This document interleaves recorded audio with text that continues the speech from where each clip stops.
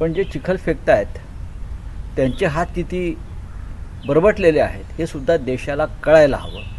केंद्र सरकारकडून कारवाईची कोणतीही अपेक्षा नाही.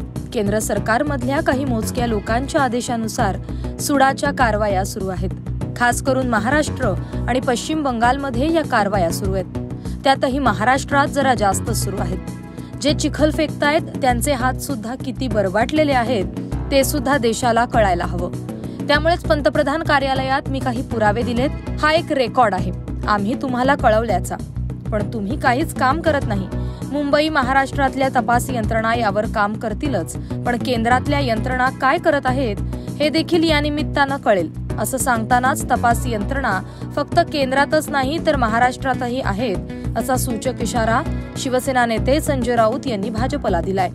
संजय राऊत यांनी मीडियाशी संवाद साधताना हा इशारा दिलाय.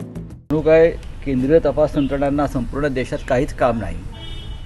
आणि फक्त महाराष्ट्रातच काम आहे. महाराष्ट्रातच सर्व काही घडत आहे. महाराष्ट्राला बदनाम करायचे. महाराष्ट्रातल्या नेत्यांना बदनाम करायचे.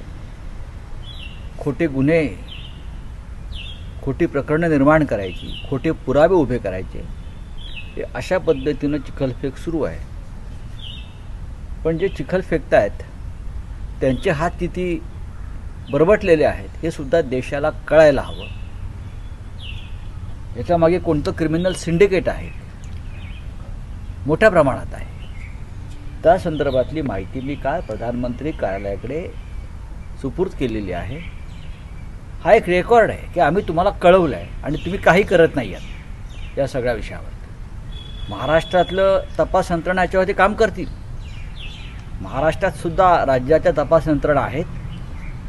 अगदी ओ डब्ल्यूपासून बरं का आर्थिक गुन्हे शाखा असेल किंवा अन्य असतील गुन्हे अन्वेषण विभाग असेल ते आपापल्या पद्धतीनं काम करतील पण तुमच्या केंद्रीय तपास यंत्रणा काय करतायत? Bureau report Maharashtra news twenty four.